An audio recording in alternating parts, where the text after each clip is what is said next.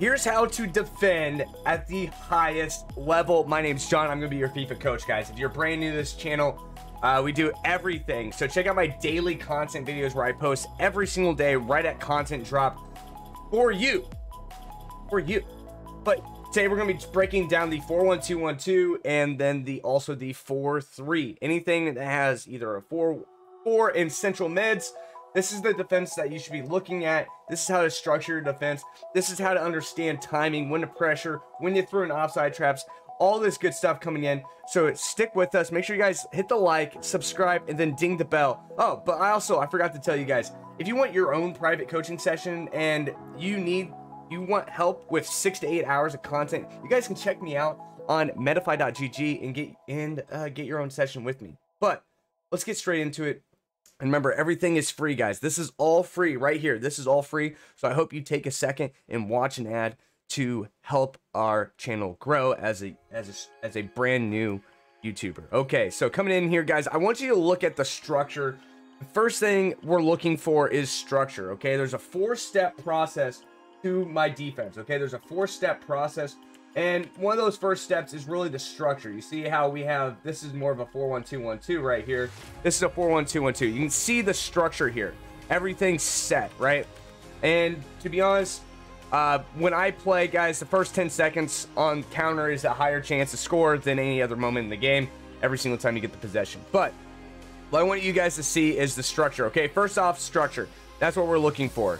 Now what we're looking for is really these holes, okay? So the idea is that we have gaps here, right? And so if we get holes here, players can make those through passes. And so my priority number one, priority number one is really this right here. This is number one, okay? This is priority number one. And the reason why, guys, the reason why is, of course, if we see somebody running this way, right now the L1, R1 uh, lob pass is absolutely impossible to stop that is where we're trying to defend priority number one, okay? So priority number one, over the top passes, and these if a ball ball gets right here in the through pass. The number one most dangerous position a player can be in is if there's nobody in the middle between the ball and the ball and this player, and they're making a direct run this way. If they're making a direct run that way, guys, you need to have the vision to see that. That is basic, but it's it's it's principle, okay? Because when it comes down to this, guys, the higher you go up, the higher you go up in divisions, the higher you go up, nothing changes. The principle's all the same. Everything's basic. Everything is simple and basic, especially on defense. It's all structure. What changes is the timing, the tempo, and positioning that you're going to be able to put yourself in because the defender is now, instead of trying to get you into anticipate, they're trying to manipulate you into different positions therefore opening up areas. That's the difference as you grow, as you grow. But priority number one is right here. We're guarding this angle right here, okay? That's the most, most, most prioritized area that we're trying to develop, okay?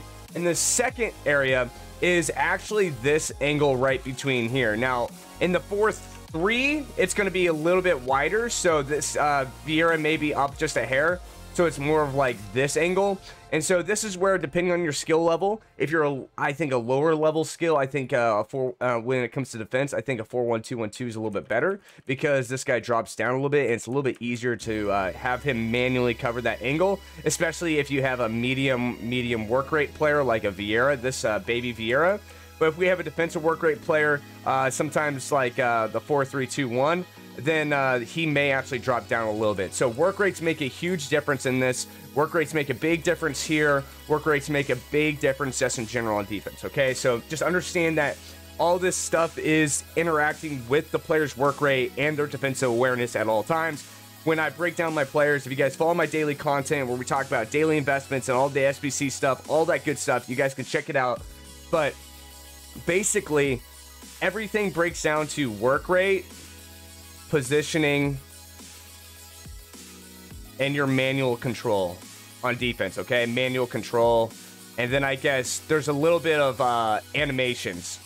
Because uh, basically, guys, there's sometimes there's stuff parts where you can't control it, okay? You can't control it, and animations are due to stats, in-game stats, body types, uh, their built built engine stats, okay? All that stuff comes down very, it's very critical, okay? Very, very critical type stuff, okay? Work rate, positioning, stats, and uh, uh, I, I, I, honestly, I just I just forgot what I was about to say. But basically, what I'm trying to see show you guys is this angle right here is the most crucial. And they always say this. You guys, I am not waffling. I'm really actually getting you guys good content. The fastest point from point A to point B is a straight line. So as a defender, what are we trying to do? We are trying to force them in these directions, okay? We're trying to force them in these directions, outward. We're trying to force them out, out, out, out, out, out. And so if this is our, let me change the, let me change the color code on, uh, on this. We're gonna go red for defense, okay? We're gonna go red for our defense. This is what we want to. This is what we want to do for defense, okay? So this is our defensive line right here, okay? And we are. This is kind of our prioritized angle right here. If you can guys can see this, this is kind of you know our line right here. This is where the priority is, lies because the idea is that we can technically track this guy back. We can technically track him back and then change the angle of, of all this. But right here, this is these are the angles that we're looking at defensively, and basically, the idea is that we're trying to slow down their time because the more time we have to react, the more the easier it is to defend. Like I said, the first 10 seconds on a counter is the highest chance of probability of success. So if you can get them to 15 seconds, 20 seconds of ball control where they just dribble and dribbling around, uh, they're not going to be able to penetrate you anywhere near as fast as they're going to be able to get up the pitch through the narrow. And the reason why I like to play the 4-1-2-1-2 narrow on defense is because look at this. All this is straight up the pitch, so we can go tiki-taka all the way through and try to get in as fast as possible. So it's really hard for the defense to react. That's why the 4-1-2 and 2 is very effective. But okay, moving on here. This is priority number one, okay? Priority number two is right here inside this little box here, okay? because the reason why I call this priority number two is because we basically need to uh, stop the ball from getting to this position.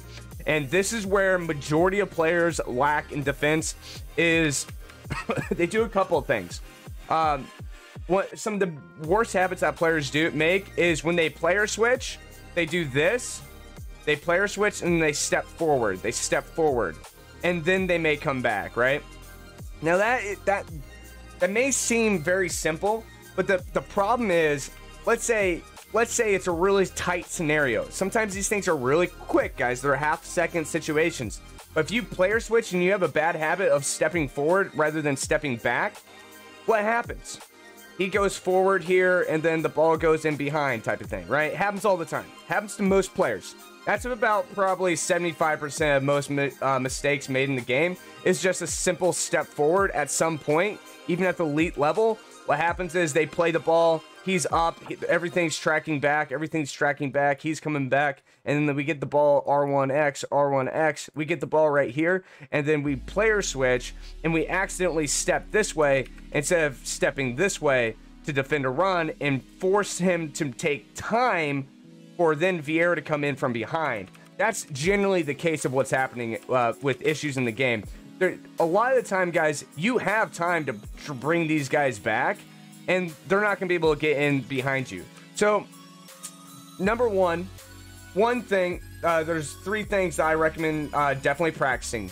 Number one, when you player switch, when you player switch right here, right stick, we right stick, I want you to just, I want you to dart this way. Just start darting this way and back.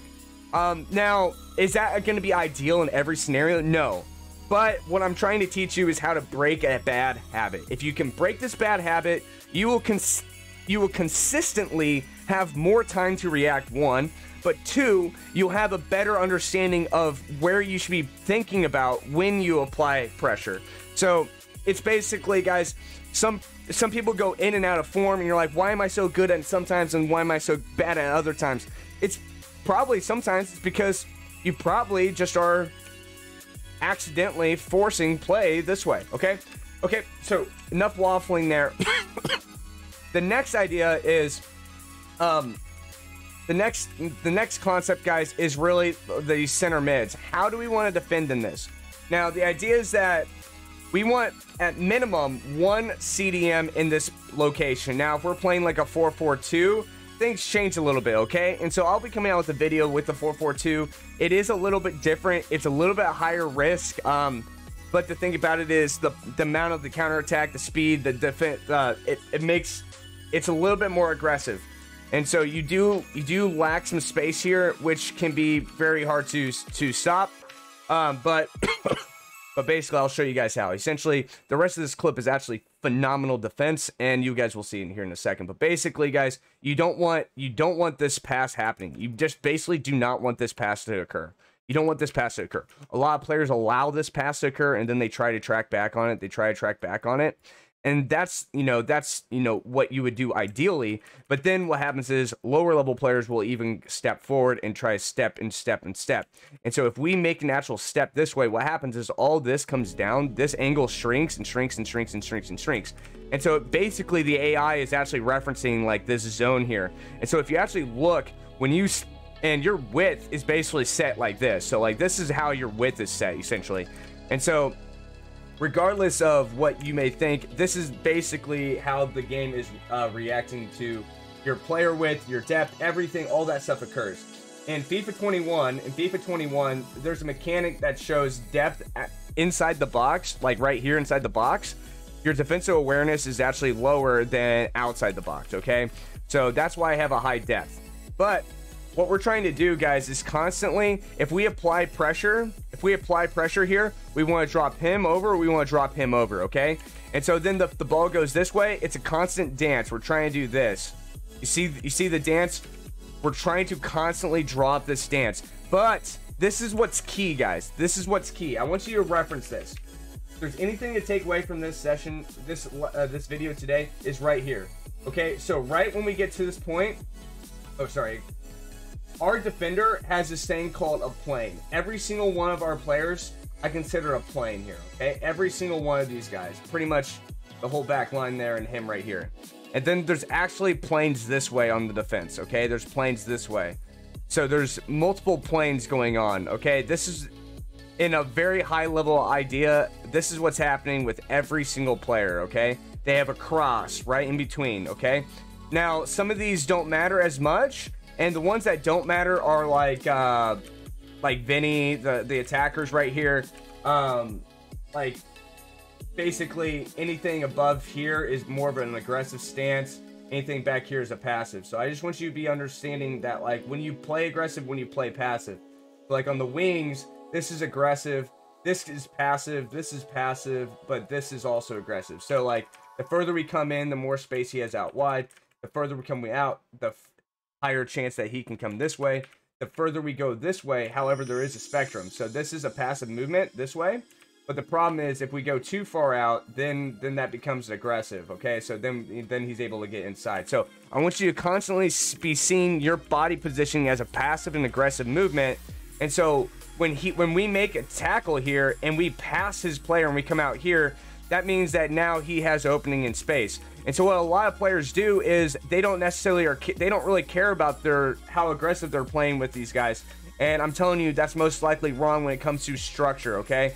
On defense, you have to be passive uh, to really to really be good good at this game. You have to be passive. And but then again, guys, I'm not here to set judgment uh, because everything depends on time. Right here, it's 1-1 in the 30th minute. So what are we thinking? We're thinking passive. There's no need to be. If I'm down a goal, if if it's 2-1 them and it's in the 60th minute, I should start considering being a little bit more aggressive, pulling these players up, pulling these players up, pulling these. But here's the thing, guys. Here's here's what I like to say is ideal. One goes up, we all go up, okay? So if he goes up, I'm sending an offside trap with everything coming up, okay? If I apply pressure, it's all about timing though. And so if he makes a pass backwards, this is where I start to apply pressure. I don't apply pressure when he's coming this way, okay? If his body positions this way, we, we let we set, okay? We set. If he if he makes a pass this way, within that amount of time, I'm clicking the offside trap, and you guys will see it, and we're applying pressure, okay? That's the idea. And the reason why we're setting an offside trap is basically to shrink this gap. We want this gap in priority number two and priority number two, we want that gap to be shrunk. Very similar to how the trash compactor in episode four of Star Wars is when they drop in that outside of the uh, if you guys are my nerd my nerd value and uh but basically we want to apply pressure from both sides here okay and what happens is attackers if they play this ball here and we don't have pressure coming from here they can pretty much create a one-on-one scenario here and uh basically try to 1v1 us rather than, a, than I say 6v2 so 1 2 3 4 5 6 7 v4 whatever it is so, do we have an advantage if we can't control this player? Don't have enough time, or do are we at a disadvantage if if uh, we are able to control this player and come back? We're at a higher advantage coming in here because what happens is they your AI will just stand flat unless you use that R1 mechanic, and generally they just run directly at, and so they're able to turn away pretty easy. And so it's a lot easier to it's a lot easier attack if basically if if you get us one-on-one here and we're, we're defending a center back. So that's the idea there. And guys, I'm now I'm going to show you some more some fluidity. There's a lot more to this. I don't have I don't have time to cover everything. And remember, this is all just coming straight from my knowledge, comes straight from my, my mentality here. So this is there's there's several step more steps to this. But basically, let's check this out all we're trying to see is structure. You see how structure we are? Structure, structure, structure. The second he goes back, that's where we go up. And so then boom, look at this. There we go. Offside trap. You can't see, you can't see I put the offside trap here, but we just pushed an offside trap. Okay, offside trap when the ball goes back up. Okay, I just want to rewatch this here. Let's watch this again. Think of the timing here. Step, step, step, step. See how we're still structured. We're guarding the ball. We're guarding the pass. Once he goes up, we both go up. Here we are. Now there's time. There's time here. You see the distance here between the gap? When I say we one goes up, we all go up. He's not going to be able to make this pass here through. So guess what? I have a safe place to send that offside trap, and boom, that's what we do. Now he makes that pass back. One goes up, we all go up. Guard the passing angle, passing angle. Then guess what happens? He breaks that plane. He goes down. We try to go back, and then I'm trying to switch to Vieira here. We get switched. We get switched off that those things will occur. He has a good chance of getting this play, but what do we do? We guard that run. Instead, we force a simple, simple, easy play, and then right away, guys, simple counter attack. Right on right on cue, let the overlapping run, simple over the top, get a little lucky in the messy, and that's how you finish a round. But guys, let's watch this again. Let's watch this one more time. Let's watch. Actually, I'm going to draw this back just a hair so you guys can see a little free-flowing defense here. Free-flowing defense here. Okay, so here we are. I'm pulling him up, but look. You see, I'm trying to bait him here. Okay, so this is a dangerous move. There's times when you can be aggressive. There's times when you're not. Okay, so right here, he should have probably gone over the top. Given that, but then the second I see that idea, I, I try to drop there. I try to step forward. I try to time the tackle. We're guarding runs. We're guarding runs. We're guarding runs. And then boom, right here, when you get there, he makes a play out wide. Offside trap comes up. And then boom, we're just constantly, constantly trying to grab that angle. You see how the entire time, though, look at the when we retain this ball, look at the structure of this defense. Completely structured. He gets in the box, but it's very low consistent, low consistent uh, attack strategy, and all we do is just we just completely destroy him on a, on straight down the pitch. Guys, that's a very simple video I have for you today. Uh, there's a lot more to this. I wasn't really able to cover everything. There may be some people out there that may be a little bit critical of what I'm saying. Um, there's a lit, there's some mechanics that I, I I may have I may have skipped over. I'll try to do more of these in the future, but I hope you guys like this video. And as always, I really appreciate you guys, and uh, we'll see you guys soon.